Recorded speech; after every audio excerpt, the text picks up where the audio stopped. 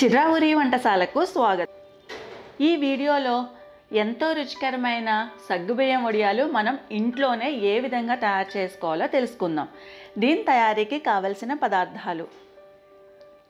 సగ్గుబియ్యం ఒక కప్పు నీళ్ళు ఆరు కప్పులు ఉప్పు తగినంత పల్చటి మజ్జిగ అరకప్పు ముందుగా సగ్గుబియ్యాన్ని శుభ్రంగా కడుక్కుని దాంట్లో మనం ఈ కప్పు కొలతతోటి సగ్గుబియ్యం తీసుకున్నాం కాబట్టి ఈ కప్పుతోటి ఒక కప్పు నీళ్ళు ఇందులో పోసి ఒక గంట ముందర నానబెట్టుకోవాలి.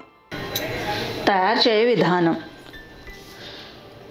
స్టవ్ వెలిగించి దాని మీద ఒక ఇత్తడి పాత్ర లేకపోతే మందపాటి గిన్నె తీసుకుని దాంట్లో నాలుగు కప్పులు నీళ్ళు పోసుకోవాలి. మనం ఒక కప్పు ఆల్రెడీ సగ్గుబియ్యంలో పోసి నానబెట్టుకున్నాము. ఇప్పుడు నాలుగు కప్పులు నీళ్ళు ఇక్కడ ఎసరు పెట్టుకుంటున్నాం. నీళ్ళు కొద్దిగా మరగనిద్దాము. చూడండి నీళ్ళు మరుగుతున్నాయి కదా. ఇప్పుడు దీనిలో మనం ముందుగా నానబెట్టుకుని పెట్టుకున్న ఈ సగ్గుబియ్యాన్ని వేసుకుని నీళ్ళతో సహా వేసుకోవాలి. ఎందుకంటే మనం ముందరే కడిగి శుభ్రం చేసేసుకున్నాం కాబట్టి సగ్గుబియ్యం. మనం కొలతకి సరిపడా మనం నీళ్ళు తీసుకోవాలి కాబట్టి ఆ నీళ్ళతోటి పాటు వేసేయాలి. ఇప్పుడు జాగ్రత్తగా కదుపుకుంటూ ఉండండి. చూడండి కొద్దిగా ఉడుకుతున్నాయి కదా. మంది లిక్విడ్ కూడా చిక్కబడుతోంది. ఇప్పుడు ఇందులో ఒక అరకప్పు నీళ్ళు మళ్ళీ పోసుకుందాం. సగ్గుబియ్యం వడియాలకు కానీ సగ్గుబియ్యంతో ఏది చేస్తున్నా సరే ఒకేసారి నీళ్ళు పోసేసుకోకూడదు. దానికి సరిపడా నీళ్ళు ఒకేసారి పోసేసుకోకూడదు. ఇలా కొద్ది కొద్దిగా పోయడం వల్ల సగ్గుబియ్యం అనేవి చాలా తొందరగా ఉడుకుతాయి. ఇదే విషయాన్ని మనం సగుబియ్యం పాయసంలో కూడా చెప్పుకున్నాం కదా. అదేవిధంగా ఇక్కడ కూడా ఒకేసారి నీళ్ళు పోయకుండా కొద్ది కొద్దిగా పోసుకుంటూ ఉండాలన్నమాట. చూడండి సగ్గుబియ్యం ఎంత చక్కగా ఉడికిపోతున్నాయో.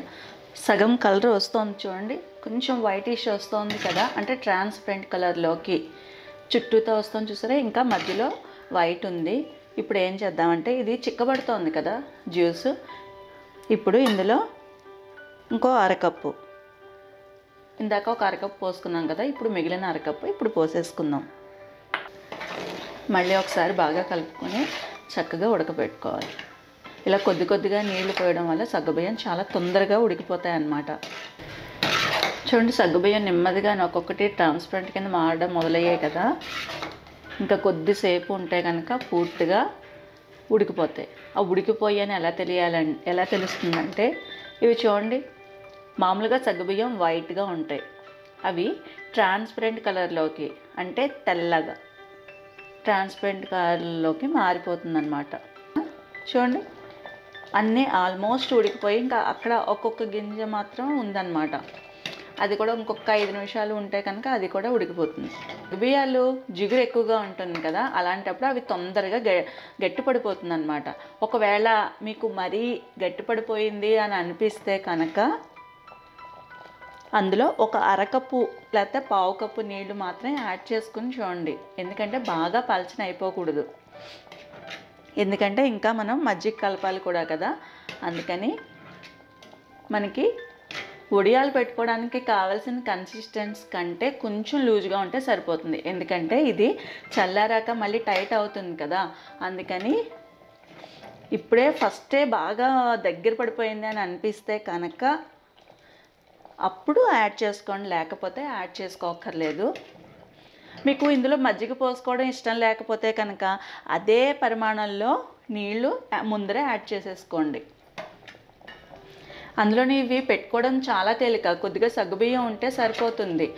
ఇంక ఇందులో మనం ఇంకేమీ యాడ్ చేసుకోవట్లేదు కదా. మీకు ఒకవేళ ఇవి కమ్మగా కాకుండా కొంచెం స్పైసీగా కావాలనుకుంటే కనుక అందులో కొద్దిగా పచ్చిమిరపకాయల పేస్ట్ స్టవ్ ఆఫ్ చేసిన తర్వాత పెట్టే ముందర కలుపుకుంటే సరిపోతుంది. మీకు జీలకర్ర కూడా వేసుకోవచ్చు ఇందులో. మీ రుచిని బట్టి. మీకు కమ్మగా కావాలి అనుకుంటే ఈ విధంగా వేసుకుంటే సరిపోతుంది. స్పైసీగా కావాలనుకుంటే పచ్చిమిరపకాయల పేస్ట్ జీలకర్ర కూడా యాడ్ చేసుకోవచ్చు. అప్పుడు ఏమవుతుందంటే కలర్ ఇలా వైట్గా రాదు. కలర్ చేంజ్ అవుతుంది. ఎందుకంటే పచ్చిమిరపకాయల పేస్ట్ కలర్ ఉంటుంది కదా లైట్ గ్రీనిష్ కలర్లోకి వస్తాయి అన్నమాట మీకు అలా కావాలంటే అలా కూడా పెట్టుకోవచ్చు. చూసారుగా?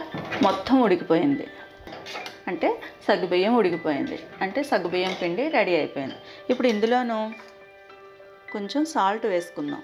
తగ్గించి వేసుకోండి. ఎందుకంటే ఇందులో మనం వేరే ఇంగ్రీడియంట్స్ ఏది వేయలేదు కాబట్టి కొద్దిగా వేసుకోండి. కావాలంటే కనుక మనం ఉప్పు అనేది అడ్జస్ట్ చేసుకోవచ్చు కూడా. ఒకేసారి వేసేస్తే మళ్ళీ దాన్ని తగ్గించుకోవడం కష్టం కదా. అందుకని ఫస్ట్గా కొద్దిగా తగ్గించి వేసుకోండి. చూడండి ఇప్పుడు స్టవ్ ఆఫ్ చేసేసుకుందాం ఇప్పుడు ఈ పిండి గోరువెచ్చని అయ్యేంత వరకు చల్లారి పెట్టుకున్నాక అప్పుడు మజ్జిగ పోసుకోవాలి. మనం ఇంకా మజ్జిగ పోయలేదు కదా. ఎందుకంటే ఇలా వేడిగా ఉన్నప్పుడు మజ్జిగ పోసేస్తే కనుక అది స్మెల్ వచ్చేస్తుంది పిండి. అందుకని ఇది గోరువెచ్చగా అయిపోవాలన్నమాట. అప్పుడు మనం మజ్జిగ పోసేసి మనం వడియాలు పెట్టుకోవచ్చు. మీకు ఇందులో పచ్చిమిరపకాయ పేస్ట్ కలపాలి అనుకుంటే ఇలా స్టవ్ ఆఫ్ చేసిన తర్వాత పచ్చిమిరపకాయల పేస్ట్ కలుపుకోండి. జీలకర్ర కూడా ఇదే టైంకి వేసుకోండి. అప్పుడు దీనికి ఉన్న వేడితోటి అవి కాస్త మగ్గిపోతాయి సరిపోతుంది. ఈ మజ్జిగ అనేది కూడా ఆప్షనల్. మీకు మజ్జిగ ఇష్టం లేకపోతే కనుక దీని బదులు ఇదే పరిమాణంలో నీళ్ళు తీసుకోండి. మజ్జిగ పోయడం వల్ల సగ్గుబియ్యం వడియాలు టేస్ట్గా ఉంటాయి అంతేకాకుండా వైట్గా వస్తాయి. చల్లారి పెట్టుకునేటప్పుడు కూడా అలా దాన్ని వదిలేయకూడదు. మధ్య మధ్యలో ఇలా కదుపుకుంటూ ఉండాలి. లేకపోతే పైన త్వరక కింద కట్టేస్తుంది. అందుకని కొద్దిసేపు వదిలేసేసి మళ్ళీ ఒకసారి ఇలా కదుపుకుని మళ్ళీ రెస్ట్ ఇచ్చేసేయాలి. అలా పూర్తిగా చల్లారేంత వరకు దాన్ని కదపకుండా ఉంచితే పైన త్వరక కింద ఫామ్ అయిపోతుంది. ఇలా మధ్య మధ్యలో జస్ట్ కదుపుకుంటూ ఉంటే సరిపోతుంది.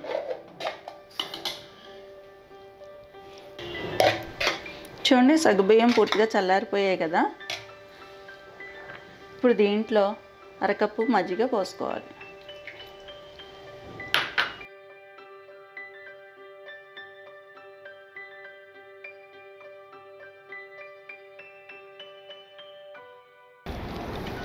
చూడండి పిండి ఈ విధంగా తయారైపోయింది కదా చల్లారిన తర్వాత.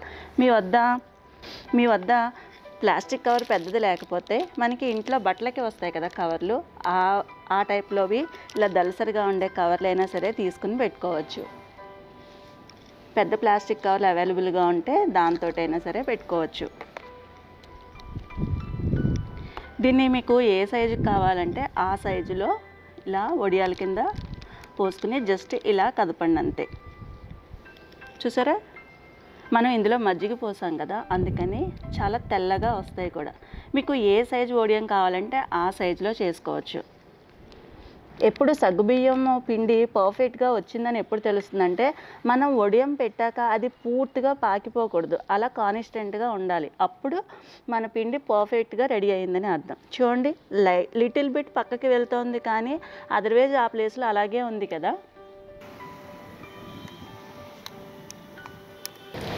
చూడండి ఒక రోజంతా పూర్తిగా ఎండబెట్టేస్తే మీకు పర్ఫెక్ట్గా వచ్చిందంటే చూడండి ఒకవైపు నుంచి ఎలా లేచి వచ్చేస్తున్నాయి ఇవి. మనం ఇది తీయక్కర్లేదు కూడా. ఎండ పూర్తిగా ఉంటే కనుక అంటే సమ్మర్లో మీరు పెడితే కనుక ఈవినింగ్ అయ్యేసరికి పేపర్ నుంచి ఊడి వచ్చేస్తాయి అన్నమాట ఎగిరిపోతాయి కూడా. చూడండి. ఇలా వచ్చేస్తాయి. ఏమీ అంటుకోలేదు చూసారా? అంటే ఇవి పర్ఫెక్ట్ చూడండి ఎంత వైట్గా వచ్చాయో. మనం ఇందులో పెరుగు వేసాం కదా. ఇప్పుడు ఒకరోజే ఎండింది కదా. పూర్తిగా ఎండలేని మూలన కొద్దిగా పచ్చి ఉంది. పూర్తిగా ఎండిపోతే ఇక్కడ చూడండి ఇలా వచ్చినట్టుగా పూర్తిగా ఎండిపోతుంది.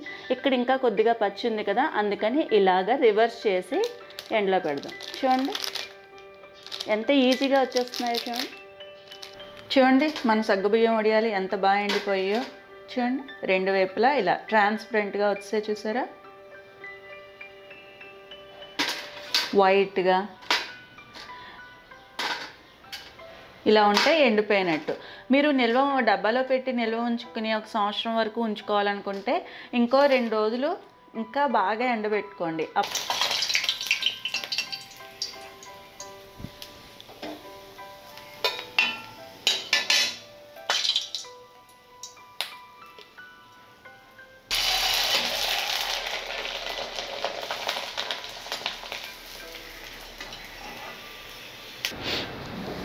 చూసారుగా ఎంతో రుచికరమైన మన సగ్గుబియ్యం వడియాలు రెడీ అయిపోయాయి.